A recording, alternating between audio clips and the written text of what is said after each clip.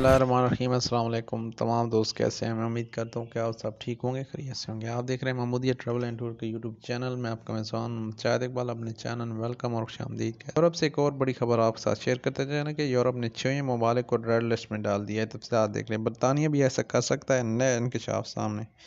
मुकम्मल तफसीत शेयर करने से पहले आप लोगों से गुजारिश है, वीडियो को लाइक करें, चैनल को सब्सक्राइब करें, वीडियो तमाम दोस्तों में ज़रूर शेयर करें। दोस्तों, न्यूज़ अगर आप खुद रीड करना चाहते हैं तो न्यूज़ का लिंक डिस्क्रिप्शन में मौजूद है, आप खुद भी न्यूज़ रीड कर सकते हैं। दोस्तों, न्यूज़ में बताया जा रहा है कि यूरोप का कहना है कि छः ममालिक को मज़ीद जो है रेड लिस्ट किया जा सकता है। जी हाँ दोस्तों, यूरोपीय यूनियन काउंसिल वबाई अमराज के लिहाज से महफूज तीसरे ममालिक की फहरस्त को महफूज करने के लिए तैयारियाँ शुरू हो गई हैं। रिपोर्ट में बताया जा रहा है कि यूरोपीय यूनियन के अंदर राइटर्स के जराए ने एक बार फिर इन ममालिक की फहरस्त से आगाह किया है, जो मुमकिन तौर पर बुध को इस फहरस्त से खारिज हो जाएँगे, जो यूरोपीय यूनियन की कौंसल इस फहरस्त का जायजा लेने के इजलास करेगी। जिसमें दोस्तों Albania, Armenia, Azerbaijan, Brunei Darussalam Japan और सरीबिया हैं। दोस्तों रिपोर्ट में बताया जा रहा है कि फहरस्त से हटाने का मतलब ये है कि रुकन ममालिक को मशवरा दिया जाए कि वो इन ममालिक से आने वाले मुसाफरों पर दाखिले की पाबंदी बहाल करें, जब तक यूरोपीय यूनियन और शिंगन एरिया के बेशतर ममालिक में दाखिल होने के अहल हैं।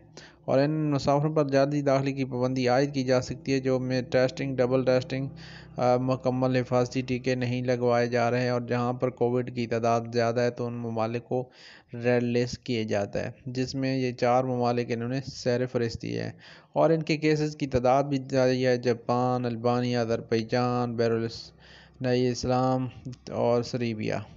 दोस्तों, बताया जा रहा है कि पिछले 24 घंटों के दौरान जापान के अंदर नौ हज़ार एक सौ पैंतालीस नए केसेस रिपोर्ट जबकि तैंतीस अमवात जबकि पिछले सात दिनों में एक लाख से भी ज़्यादा तजावज़ कर गई तो इसलिए ये जो है इनको ग्रीन और सॉरी रेड लिस्ट करना मजबूरी बन सकता है। तो बरतानिया की जहाँ तक बात है तो अगर ये करते हैं तो बरतानिया का भी कोई मूड नहीं है। वो भी इस हालत में आ सकता है कि वो भी कुछ ममालिक को मज़ीद रेड लिस्ट कर दे। बहरहाल, ये न्यूज़ शेयर करना लाजमी थी। न्यूज़ का लिंक डिस्क्रिप्शन मौजूद है।